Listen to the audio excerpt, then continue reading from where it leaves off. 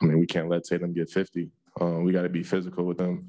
Now they don't have Robert Williams, so um, they have less of a presence in the paint, uh, and, we, and we could attack Al Horford and, and Theis. Uh, so them not having Robert, Robert Williams is huge.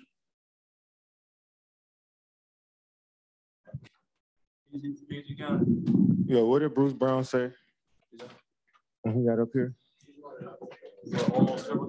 Nah, well, he said something I ain't like. Somebody just told me. Oh, I, I love you. Love you too, champ. Yeah, like,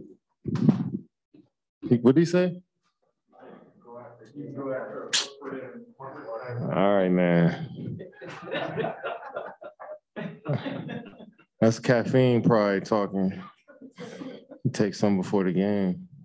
They got them two dudes. You can do the same stuff. It ain't gonna be that easy. I tell you that.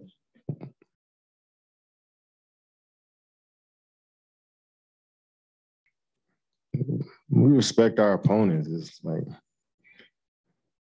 we don't need to talk about you know what we gonna do to them. Like I just don't like that, you know.